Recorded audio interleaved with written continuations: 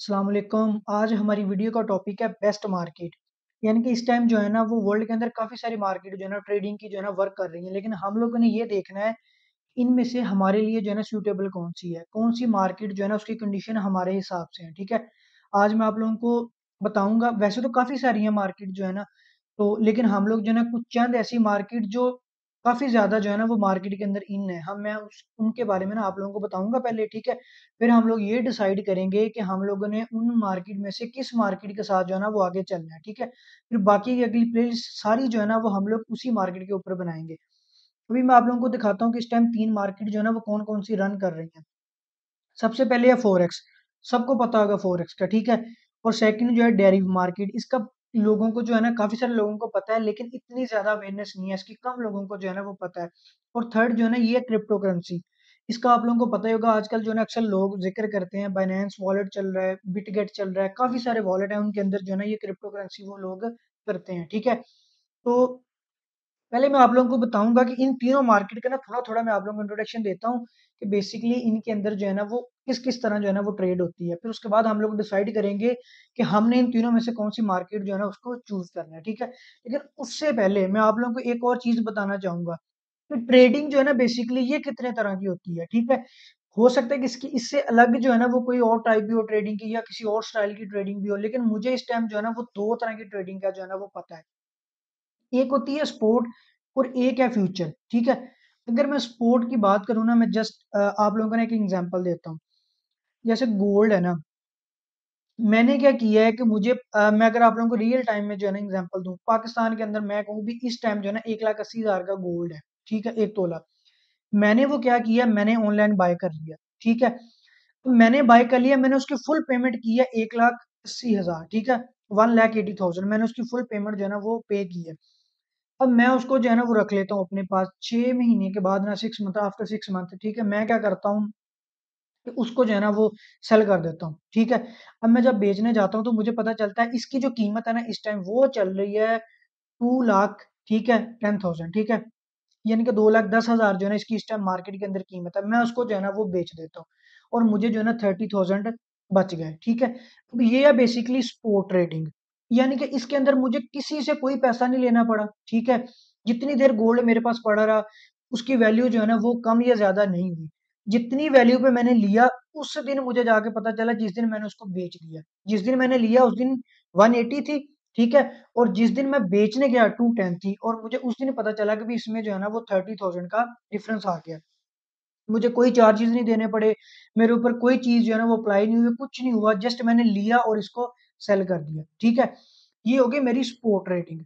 अब अगर मैं यही चीज़ बात करूँ फ्यूचर ट्रेडिंग की, भई फ्यूचर ट्रेडिंग में मैं कहता हूँ कि मैं जो है ना वो गया मुझे सबसे पहले मेरे ऊपर एक कंडीशन लगा दी जाती है कि भई आप लोग जो है ना मिनिमम 10 लाख का जो है ना वो गोल्ड खरीद सकते हो, इससे कम का आप गोल्ड नहीं खरीद सकते। मैंने देखा यार मेरे पास तो पैसे ही 1,80,000 है, अब मैं किस तरह जो है ना वो बाकी जो है ना वो पूरे करूँगा वो एक बंदा मुझे कहता है कि यार मैं ना आपको कुछ मनी जो है ना वो उधार देता हूँ, ठीक है? आप दो लाख डालो, बाकी आठ लाख मैं आपको देता हूँ। मैं कहता हूँ ठीक है, ठीक है? वो कहेगा कि भाई फिर इस तरह है कि अगर मैं आप लोगों को आठ लाख दूँगा ना, तो इसमें कंडीशंस भी मेरी चलेंगी। मैं उसको बोलता हूँ हाँ भी क्या कंडीशंस है? वो कहेगा कि भाई अगर आपने लेके इसको रख लेना है ना, तो मैं आपको डेली इस पे चार्ज करूँगा यानी कि अगर आपने इसको छह माह रखा ना, तो मैं डेली आपको एक रुपया जो है ना इसका चार्ज करूँगा आपको डेली मुझे एक रुपया देना है कमीशन इसके ऊपर। मैं कहता हूँ ठीक है यार आप कर दो। वो मुझे आठ लाख देता है, मैं दो लाख डालता हूँ और मैं 10 लाख का गोल्ड खरीद लेता हूँ। ठीक है? कहा मैंने एक लाख अस्सी हज़ार का गोल्ड बाय किया, ठीक है? लेकिन उसमें पेमेंट सारी मेरी अपनी थी स्पॉट के अंदर। फ्यूचर में दो लाख मैंने आठ लाख उसने दी है दस लाख का गोल्ड, गोल्ड तो ज़्यादा आ गया ना, ठीक है? अब 10 लाख का मुझे पाँच तोले जो है ना वो मिल जाएगा। कल जब महँगा होगा तो मैं क्या करूँगा जब उसको सेलिंग करूँगा तो मुझे प्रॉफ़िट क्या होगा? ज़्यादा होगा, ठीक है? लेकिन ये प्रॉफ़िट ज़्यादा क्यों हुआ? क्योंकि साथ में मुझे किसी बंदे ने आठ लाख अमाउंट भी उधार दी थी। अब दूसरी चीज़ क्या होती है इसके अंदर? फिर इसके अंदर एक फ़र्क ये है स्पॉट से कि जब गोल्ड की कीमत एक लाख अस्सी हज़ार है, ठीक है? जैसे ही एक लाख 75,000 हुई ना, तो फ़ौरन से आपके वॉलेट से 5,000 कम हो जाएगा। आपकी जो अमाउंट थी ना आपके पास, उससे 5,000 खत्म, ठीक है?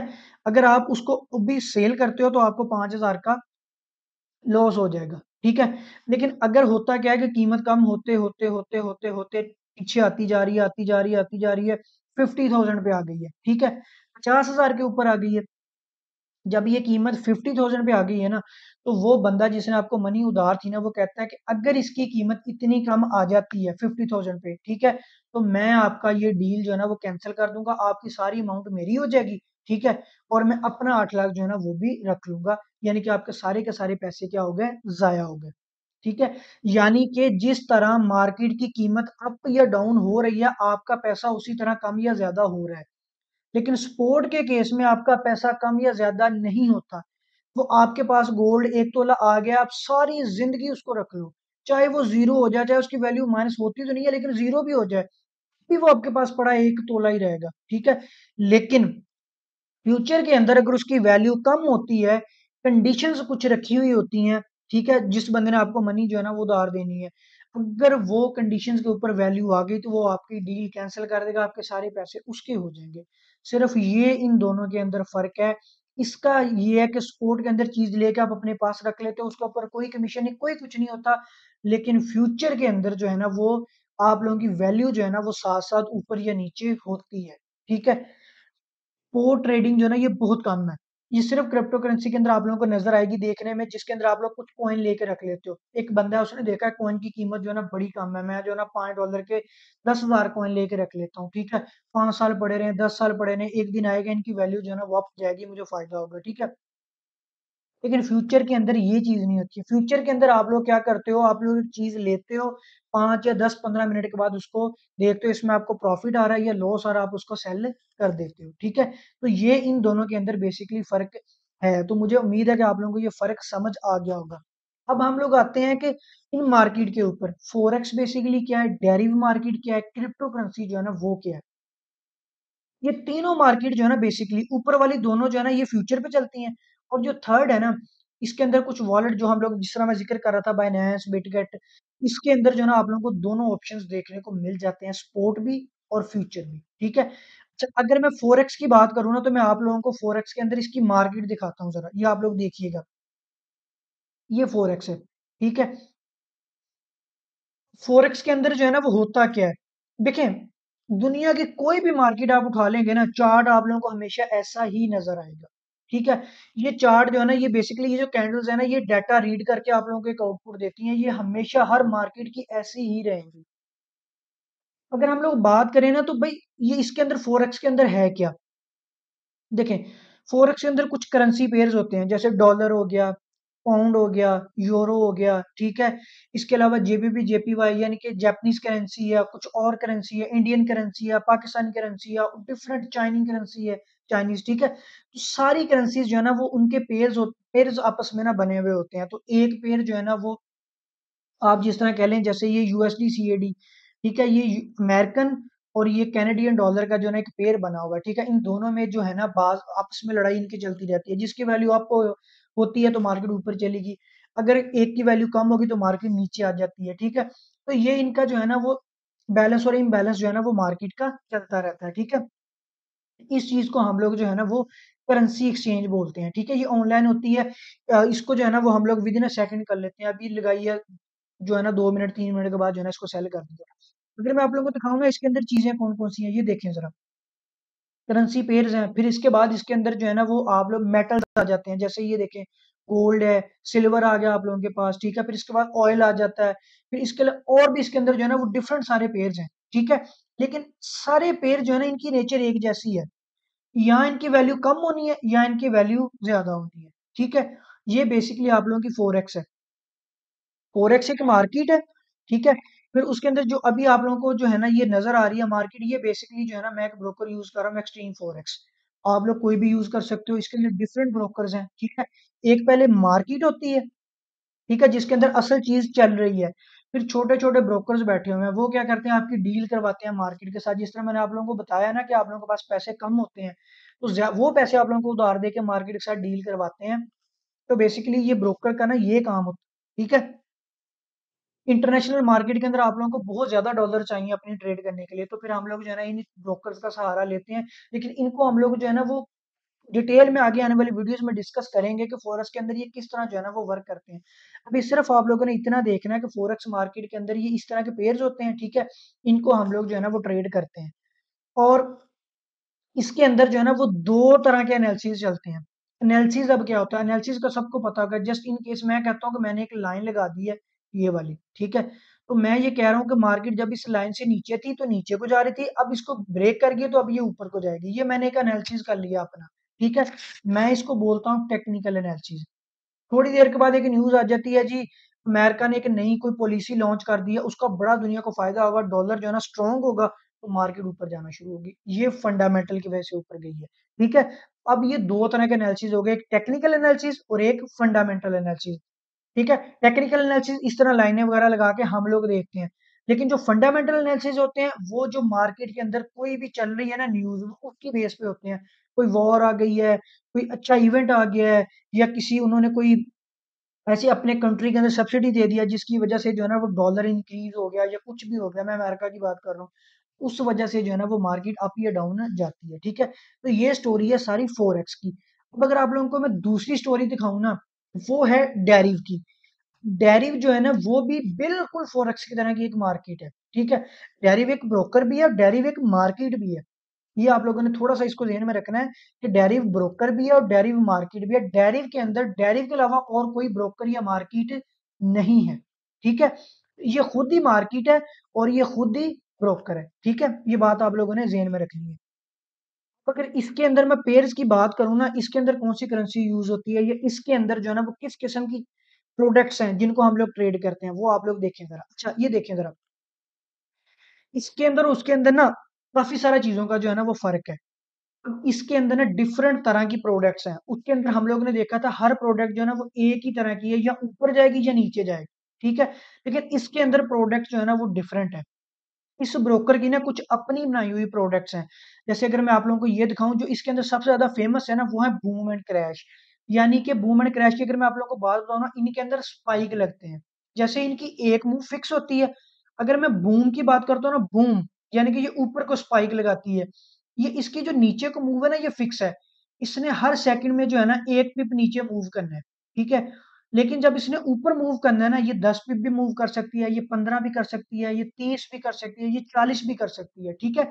ये स्पाइक इसको हम बोलते हैं स्पाइक ये इसके अंदर स्पाइक लगते हैं। ये इसकी एक टाइप है, एक प्रोडक्ट है इसके अंदर जो इस तरह इस तरह जो है ना, वो चलती है। अगर आप लोग क्रैश प्रोडक्ट इसकी लेंगे ना, उसमें भी वही काम होगा। लेकिन क्रैश क्रैश के अंदर नीचे को स्पाइक लगते हैं बूम के अंदर ऊपर को स्पाइक लगते हैं। अगर आप इसके अंदर स्टेप इंडेक्स लेंगे तो ये फोर की तरह का एक पेयर है, ठीक है? ये बेसिकली ऊपर को भी मूव करता है और नीचे को भी मूव कर रहा है। अभी इसकी वैल्यू जो है ना, वो लोड हो रही है, मैं आप लोगों को दिखाता हूँ। ये देखें, ये बिल्कुल फोरेक्स की तरह ये ऊपर को भी मूव करता है, ये नीचे को भी मूव करता है, ठीक है? इसके अलावा इसके अंदर एक वोलेटिलिटी नाम के पेयर्स हैं कुछ, वो भी इसी तरह बिल्कुल। वो भी फोर एक्स की तरह ऊपर को भी मूव करते हैं और नीचे को भी मूव करते हैं, ठीक है? लेकिन ये फोरेक्स से अलग है फोरेक्स के साथ नहीं चलते हैं। अब मैं आप लोगों को ना थोड़ा सा ये भी बताऊँगा कि ये फोरेक्स से मार्केट किस तरह जो है ना, वो अलग है, ठीक है? इनके फ़ायदे और नुकसान पे तो हम लोग बाद में आएँगे। अभी मैं आप लोगों को ये बताऊँगा ये किस तरह जो है ना उससे अलग किस तरह से है, ठीक है? अभी हम लोगों ने तीन तरह के पेयर्स देख लिए फिर उसके बाद रेंज ब्रेक है, फिर उसके बाद जंप है, ये डी एक्स नाइन हंड्रेड है, ये आप लोग सारे खुद देख लेंगे, ठीक है? हर पेयर की जो है ना अलग अलग एक जो है ना, वो अब मूव की जो है ना, वो आप कह लें कि टाइप है। कुछ लंबे वाला मूव करते हैं, कुछ जंप के साथ मूव करते हैं, कुछ जो है ना, वो स्लो स्लो सारा दिन मूव करते हैं, फिर एक दिन बड़ी मूव देते हैं, ठीक है? ये इन सब की जो है ना, वो खसूसियात है। अब इसके अंदर अगर मैं एनालिसिस की बात करूँ ना तो ये सबसे बड़ा फ़र्क आता है इसका और फोरेक्स का। इसके अंदर जैसे मैं अगर ये इसकी बात करूँ ना और मैं यहाँ पे एनालिसिस करूँ आप लोग सिर्फ़ और सिर्फ़ इसके अंदर ये इस तरह लाइन लगा के स्पाइक कैच कर सकते हैं बस इसके अंदर न्यूज़ इम्पैक्ट नहीं करती हैं यानी कि पूरी की पूरी दुनिया तबाह बर्बाद अल्लाह ना करे ऐसा हो पूरी की पूरी दुनिया ऊपर नीचे भी हो जाए ना कुछ भी हो, ठीक है? तो जो है ना आप लोग इसके अंदर कोई भी फ़र्क नहीं देखेंगे, ठीक है? एक चीज़, एक चीज़ मैं और आप लोगों को दिखाता हूँ, ये ज़रा आप लोग गोल्ड को देख रहे हैं, यहाँ पे आप लोग देख रहे हैं, ये छोटी-छोटी कैंडल लगी हैं, इसका मतलब है कि यहाँ पे आके मार्केट डेड हो गई ठीक है? यहाँ पे आके थोड़ी बड़ी लगी है फिर यहाँ पे आके रुक गई, फिर रुक गई, फिर रुक गई, फिर ये लंबे वाली लगी है। ठीक है? ये रात के टाइम की कैंडल्स है। ठीक है? रात टाइम वॉल्यूम इसके अंदर बिल्कुल कम हो जाता है, आप रात को इसमें ट्रेड नहीं कर सकते। इसकी मूव ही नहीं होती है, मार्केट एक ही जगह पे आके रुक जाती है, ठीक है? फिर जब सुबह न्यूज़ आती है, जब मार्केट ओपन होती है, फिर एक लंबी मूव मतलब उसके अंदर वॉल्यूम आता है। फिर जब नहीं मतलब कोई टाइम जिस टाइम न्यूज़ का टाइम नहीं होता, तो मार्केट इस तरह जो है ना वो थोड़ा स्लो-स्लो मूव करती है।